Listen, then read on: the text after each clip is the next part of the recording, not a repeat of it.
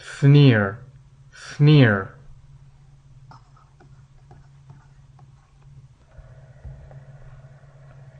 To smile, laugh, or contort the face in a manner that shows scorn or contempt.